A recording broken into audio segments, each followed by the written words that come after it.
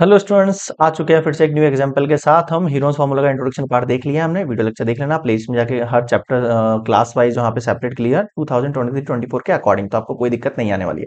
Example number one क्या कह रहा है? चलिए देखते हैं।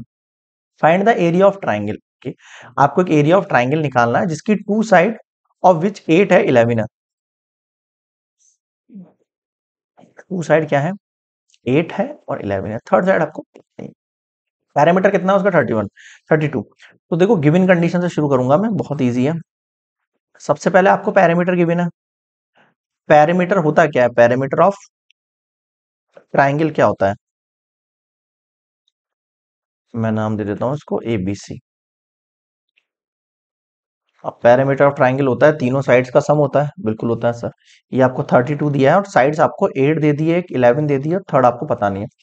अब क्या करोगे आप? एट और इलेवन को ऐड करो, कितना हो जाएगा ये? नाइनटीन हो जाएगा। नाइनटीन को उधर भेजो thirty two minus equals to C कितना हो गया ये?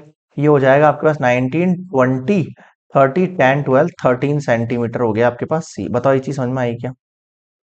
यहाँ तक किसको दिक्कत है वो बता दो मुझे एक बार अच्छे से। कमेंट सेक्शन बताना कि किन स्टूडेंट्स को सर ये वाला मेथड में दिक्कत आ रही है इसमें दिक्कत आ रही है, वो बताना आप कमेंट सेक्शन में या फिर आप मेल आईडी पे मेल भी कर सकते हो, हमें क्लियर है। चलिए, अब आगे बढ़ते हैं हम। ये एक साइड निकल गया हमारे पास तीसरी साइड। अब मुझे इसका एरिया निकालना तो एरिया निकालने की सबसे पहले मैं क्या निकालता हूँ सर? एस निकालता हूँ। एस क्या है आपका?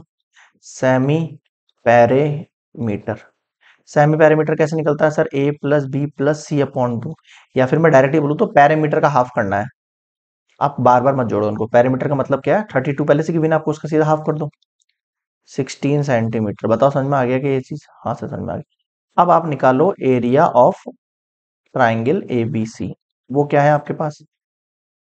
S S minus A S minus B और एस माइनस सी अब मैं लगाऊँगा सेंटीमीटर स्क्वायर क्योंकि मेरे पास सेंटीमीटर पता लग गया है मुझे।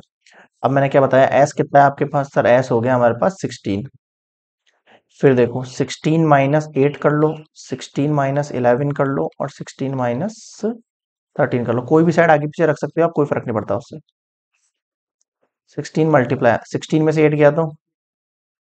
सिक्सटीन में से इलेवन गया तो? सिक्सटीन में से थर्टीन गया तो? अब आप इनके टुकड़े करना सीखो। जैसे आप एल्सियम करते हो ना ऐसे करके तो आप या तो इसके पूरे टुकड़े करो टू से किया तो एट फिर टू किया फोर फिर टू टू जा फोर फिर टू वन जा या तो ऐसे टुकड़े करो या फिर डायरेक्टली सिक्सटीन की जगह फोर इंटू फोर लिख देता हूँ मैं। क्यों लिखा? क्योंकि ये सेम डिजिट आती है, मैं इसमें से फोर बार निकाल दूँगा डायरेक्टली और आपको ये समझ में नहीं आ रहा, कोई दिक्कत नहीं है। आप एक काम करो, एक मिनट। आप डायरेक्टली ये टुकड़े लिख दो इनके ना, अगर आपको कंफ्यूजन लगता है तो। अब एट के भी टुकड़े लिख दो। फाइव और थ्री के होंगे नहीं। अब आप देखो। इनमें से आपको क्या करना है, जो एक एक पेयर बनाना है ऐसे करके, जो एक पेयर सेम दिख जाए, आपको उसमें से एक डिजिट बाहर लिख जैसे टू और टू है तो केवल टू बाहर आएगा। फिर ये टू और टू है तो केवल टू बाहर आएगा रूट में से। इधर देखो, ये टू और टू दिख रहा है, केवल टू आएगा बाहर इसमें से। अब जो बच गया पेयर नहीं बन रहे, सबको मल्टीप्लाई कर दो। टू फाइव जा टेन टेन थ्री जा थर्टी